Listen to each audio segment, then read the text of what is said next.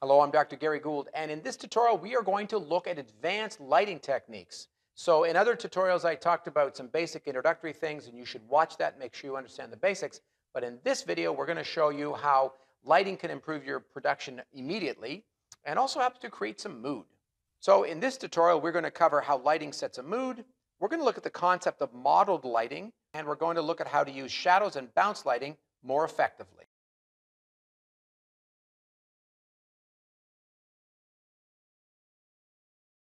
Lighting is an important part of the story that we're telling because it creates mood. Think about how lighting affects your mood in real life. A sunny day has a much different feel than an overcast day. When you walk into a room that's lit by fluorescent lighting, it has a very different feel from one that's lit by candlelight. In the same way, professionals use lighting to create mood in their productions. And you're going to do the same things when you're shooting with your stuff. The one thing you have to decide is what's the mood I want to create and how I'm going to do that? I talk about hard direct lighting in that other video. That's a very dramatic look. Now you can light your interviews like that, or you can use a softer, gentler look. Both are correct. The one thing that you need to be aware of, though, is when we're shooting documentary work especially, you want things to be objective. You want the lighting to be consistent between interviews. So if you pick a nice soft look for one person, you need to use it for everybody. You can, of course, use dramatic lightings for recreation and other things throughout the documentary, but when it comes time to doing the interviews, please make sure that they actually look similar in terms of the way you lit them. So you want to try to be able to recreate your lighting, uh, and that's something to remember when you're shooting your production.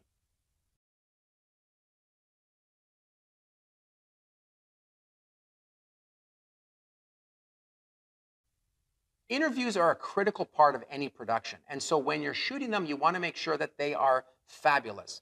There are often things you can't redo or go back and get again. If you shoot a scene wrong, you get some bad traffic shots, you can go back and get that again. But interviews are not like that, so you want to make sure you get it right the first time.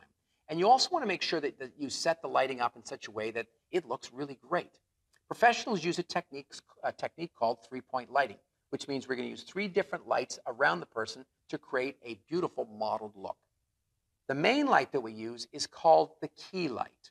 The main light, it can be a window light, it can be a professional lighting fixture, it can be a desk lamp, but whatever is your primary light source is called your key light. Where you place it is usually determined by the background. Which way, which angle, which side is the light going to hit the background. So in this particular setup, my key light is off to the left side of the camera because the light is going to cut across me and fall into the room this way.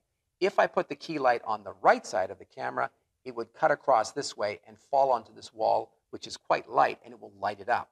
And remember, the brightest thing in the screen is what you want the audience to be looking at, and in this case, it's my face. So I want the background to be darker, and so that's why I've set my key, key light up where I did. If I'm using a window light, I may have no choice. The key main light is going to create shadows on the one side of the person's face, and I'm going to use a fill light to fill in those shadows. Now, Remember, the job of the fill light is not to create even lighting on the face. You want some shadows on one side of the face to create some depth in the shot. And so what the fill is going to do, it's going to be not as intense as the primary or key light, but it's going to fill in those shadows. One of the things that works really well is a piece of white foam board that you can pick up at most dollar stores. You can use that to reflect the primary or the key light onto the other side of the person's face, and you can use it to fill in the shadows. Look at how effectively this does that and it cost me all of $1.25 for the white board. Remember, too, you do not want to have flat, even lighting across a person's face. You want some shadows on the nose, some shadows on the eyes, because it creates a nice modeled look and it creates a nice depth to the person's face. Now, the third light that we use is called the backlight. And what that light does is it helps to separate the person from the background. So we're going to place it behind them. The front lighting I've got set up in this case as a nice soft light. But the backlight should be a direct, straight-on light. And I'm going to show you here what I'm using. If you look, it's just a lamp I got from IKEA for $20 and a, a nice warm light bulb, thir uh, about 3200 degrees Kelvin light bulb. And I just aim that at the back of my head and it works fine. As a side note, see that beautiful chair over there? One of the important things when you're doing lighting is to make sure that the chair is not in the shot if you can avoid it. So I picked a low back chair here. It's just a folding chair that I had the myself sit on. But if I was going to sit on that comfortable rocking chair, first of all, I'm going to rock the whole time. Second of all, it's a very high back, so it would come into the shot. So when you're setting people up too, shadows are good on the face, but they're not great on the wall. So never put somebody right up against the wall. Never put somebody on a couch against the wall or somewhere that the shadow is going to fall onto um, the, what is directly behind them.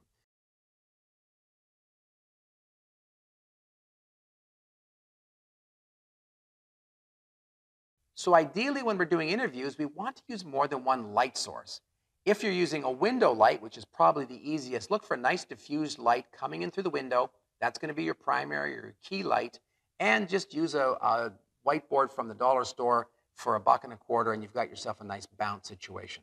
If you bring along a desk lamp, you can use that as the backlight, and you've got a fairly nice looking three point lighting setup. Now, that works great during the day, but what do you do at night?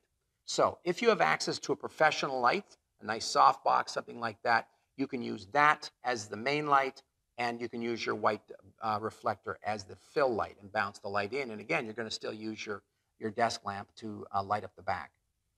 Advanced lighting is primarily about looking at where you're shooting and then using your light sources creatively. If you're able to use more than one light source, you can usually improve the look of your interviews quite dramatically. And really, the lesson here is to start to apply that principle to your shooting. Don't just shoot one straight flat on light. That's not really, really great. You want some shadows, and the way you do that is by using several light sources or offsetting the one light source a little bit off the camera. Now that we've completed the tutorial, let's check our learning with a quiz. So I hope that helps.